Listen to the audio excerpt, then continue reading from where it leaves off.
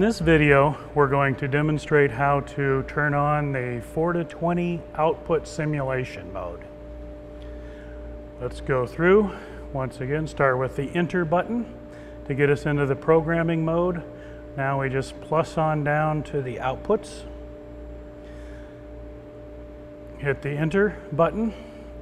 Uh, we want to enter the current output, so we hit enter. And in this case, we're going to go to operation.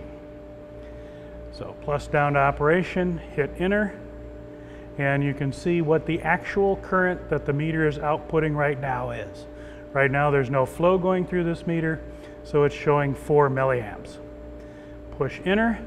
Now we can go in and simulate the 4 to 20 milliamp current.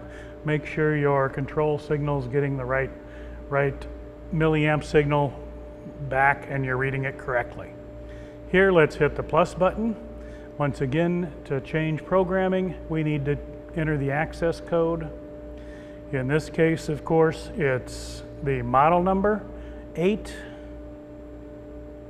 3, since it's a ProMass 83 Coriolis meter, and now we can just hit the return and our programming's enabled. Here we just then hit the plus, so we turn the simulation current on enter again, and we can put in any value from 4 to 20 milliamps we want.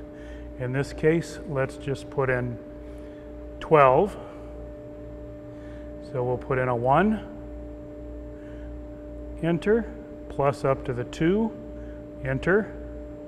Now we'll go down, and since we're just entering 12, we can actually go back to the return and press enter then we don't have to go through those last couple of digits.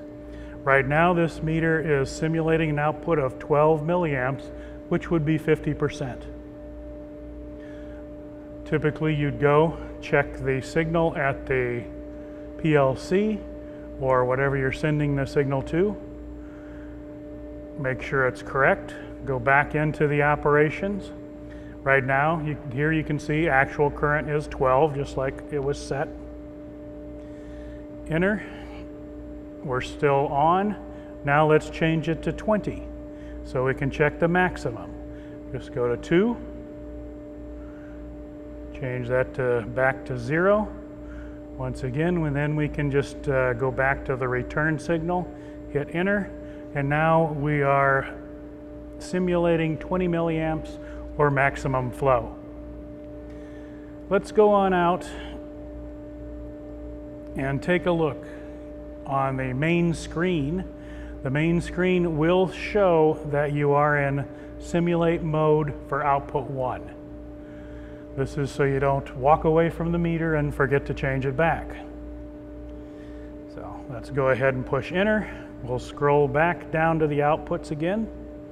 Once again, we want to go into current output, plus down to operation.